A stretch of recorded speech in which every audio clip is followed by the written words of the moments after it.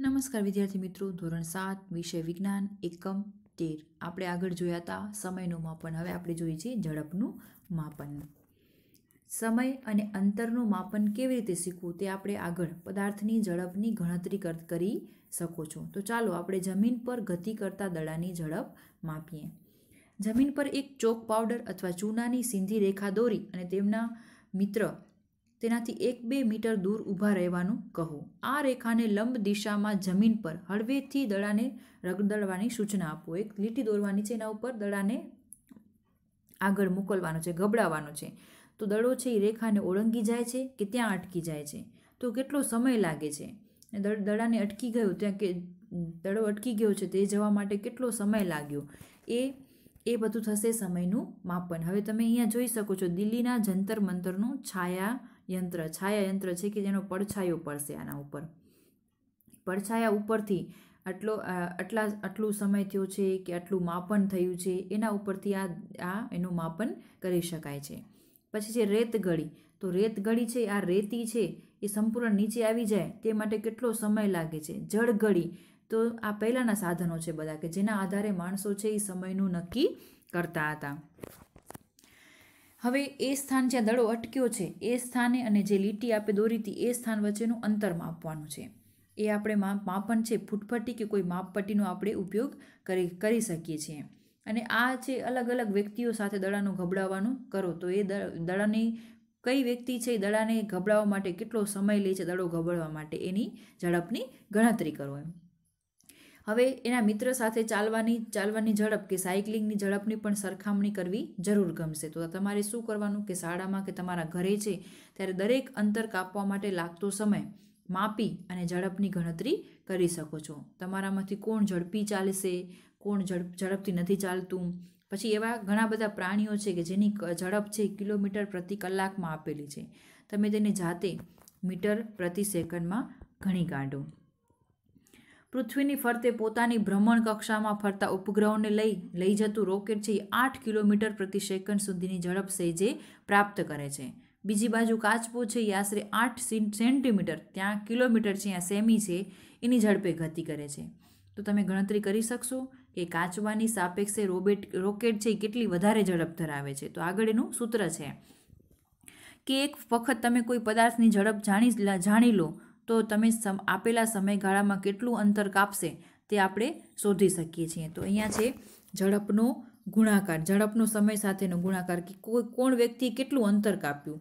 અહીંયા આપણે અંતર લખીએ તો એની ઝડપ અને એક સમય આપેલો હોય, આટલા સમયમાં કરે છે તો આપણે એની ઝડપ શોધી શકીએ છીએ. એમ તમે આપેલી ઝડપે ગતિ કરતા પદાર્થે કાપેલા અંતરનો સમય પણ શોધી શકો છો. સ્કૂટર કે મોટરસાયકલના હેન્ડલની વચ્ચે ગોઠવેલું મીટર જોયું છે. એના જેવું જ મીટર કાર, બસ અને બીજા વાહનોના ડેશબોર્ડ પર ગોઠવાયેલું હોય છે. તો એ ડેશબોર્ડને આપણે તમે બધાએ જોયું છે. સ્કૂટી હશે તો આગળ એનું ડેશબોર્ડ હશે હશે ને? એ બધા શું બતાવે છે? તમે કેટલી સ્પીડથી ગતિ કરો છો? એનામાં પેટ્રોલ છે એ કેટલું? એ ગાડીએ કેટલું એવરેજ આપ્યું? પેટ્રોલ કેટલું છે? ફૂલ છે કે નહીં? એ આપણે બધું ડેશબોર્ડ ઉપર જાણી શકીએ છીએ. તો એક મીટરના ખૂણામાં કિલોમીટર લખેલું હોય છે. હવે તમે અહીંયા જોઈ શકો છો કે આપણને બાજ છે એ ત્રણસો વીસ કિલોમીટર ઝડપથી ગતિ કરે છે. તો અહીંયા એક દાખલો ગણેલો આપ્યો છે. ત્રણસો વીસ ગુણ્યા સો ભાગ્યા સાઠ ગુણ્યા સાઠ એટલે કેટલા થશે? સાઠ મિનિટ હોય અને સાઠ સેકન્ડ. તો એના વડે એટલે કે સો વડે આપણને કિલોમીટર, હોર્સ એટલે કલાક, એટલે એના ગુણાકાર કરવાનો છે ને મિનિટ અને સેકન્ડથી આપણે બાદબાકી કરવાની છે. તો એવી જ રીતના આપણે આ બધા જ જે નામ આપેલા છે, એની ઝડપ આપેલી છે, તો એના એના ઉપરથી આધાર તમે ઝડપમાં એને ફેરવી શકશો કે એની કેટલી ઝડપથી એ ગતિ કરે છે. સ્પીડોમીટર કહે છે. તે ઝડપને સીધી જ કિલોમીટર પ્રતિ કલાક કલાકમાં માપે છે. એક બાજુ મીટર પણ છે, જે વાહનને કાપેલું અંતર આપે છે. આ મીટરને એડોમીટર કહે છે. બે આપેલા હોય છે, સ્પીડોમીટર અને એડોમીટર. શાળાની પિકનિકમાં જતી વખતે પહેલીએ નક્કી કર્યું કે દર ત્રીસ મિનિટે બસના એડોમીટરનું અવલોકન મુસાફરી દરમિયાન લેવું. ત્યારબાદ તેણે તેના અવલોકનોને કોષ્ટકમાં નોંધ્યા કે કેટલું અડધો અડધો કલાકમાં કેટલું અંતર કાપે છે. પિકનિકનું સ્થળ શાળાથી કેટલું દૂર છે, તમે બસની ઝડપની ગણતરી કરી શકો છો. પછી પહેલી એ પૂછ્યું કે સવાર નવ પોણા દસે આપણે સુધીમાં બસ વડે કેટલી મુસાફરી થઈ? તો એ બધા પ્રશ્નો છે એ જાતે સોલ્વ કરે છે. અંતર અને સમયનો આલેખ દોરવો એક રસ્તો છે. તો આવો આલેખ કેવી રીતે દોરવો તે આપણે જોઈએ. અંતર અને સમયનો આલેખ. તમે જોઈ શકો છો એડોમીટરનું અવલોકન. જે આઠ વાગે નીકળ્યા તો આઠ વાગે કેટલું અંતર હતું? એડોમીટરમાં શું હતું? ત્રણ હજાર, છત્રીસ હજાર પાંચસો ચાલીસ, પછી છત્રીસ હજાર પાંચસો સાહીઠ થયું તો વીસ કિમીનું અંતર થયું, પછી ચાલીસનું થયું સાહીઠનું થયું. એ રીતે નોંધે છે. તો અહીંયા આપણે એવો સંભાલેખ દર્શાવે છે. એક, બે, ત્રણ, ચાર, પાંચ, છ અને પાંચ, છ પહેલાં શું એક પછી કેટલું અંતર કાપ્યું તો? પાંચ પછી છે ત્રણ પછી છે ચારમાં કેટલું અંતર કાપે છે એમ. એવી જ રીતે આપણે વર્તુળ આલેખ પણ બનાવી શકીએ છીએ એમ. અહીંયા હવામાં રહેલો વર્તુળ આલેખ બતાવ્યો છે. જોઈ શકો છો તમે કે ઓક્સિજન છે એ આપણને બધાને ખબર છે એકવીસ ટકા છે. અન્ય વાયુ કેટલો છે? ગેસ કેટલા છે? ઝીરો પોઈન્ટ ઝીરો ચાર ટકા અને અઠ્ઠોતેર ટકા શું છે? નાઇટ્રોજન છે, એ આપણને વર્તુળ આલેખમાં દર્શાવ્યો છે.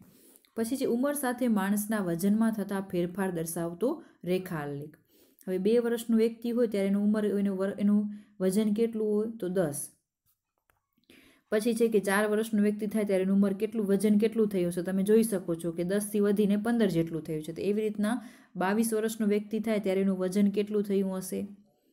સિત્તેર કે સાઠ તો એની વચ્ચેની જગ્યામાં હશે તો આલેખ પેપર લો અને આકૃતિનું દર્શાવ્યા દર્શાવ્યા મુજબ લંબ એવી રીતે બે રેખાઓ દોરો કે સમસ્થિતિજ રેખાને એક્સ ઓ એક્સ અને બીજી આપો વાય ઓ વાય નામ આપવું. અને છેદન બિંદુને ઉદ્ગમ ઓ કહે છે. જે બે રાશિ વચ્ચે આલેખ દોરવાનો હોય તેમાંના બે અક્ષ પર દર્શાવાય છે. એક્સ અક્ષ પર ધન મૂલ્યનું ઓ એક્સ, જ્યારે વાય અક્ષ પર ઓ વાય દિશામાં દર્શાવાય છે. પરંતુ રાશિઓના માત્ર ધન મૂલ્યો છે એ ધ્યાનમાં લઈશું. હવે તમે જોઈ શકો છો, અહીંયા X O X Y O Y એટલે ઓ એક્સ અને ઓ વાય અહીંયા આપણે આ જે છાયાનો ભાગ ઉપયોગ કર્યો છે, એ આપણે શું કરીએ છીએ એને? આપણે અહીંયા જે જે સમય આવે છે, એનું આપણે ત્યાં નોંધીએ છીએ, જે ગ્રાફ પેપર છે એનામાં. આવજો વિદ્યાર્થી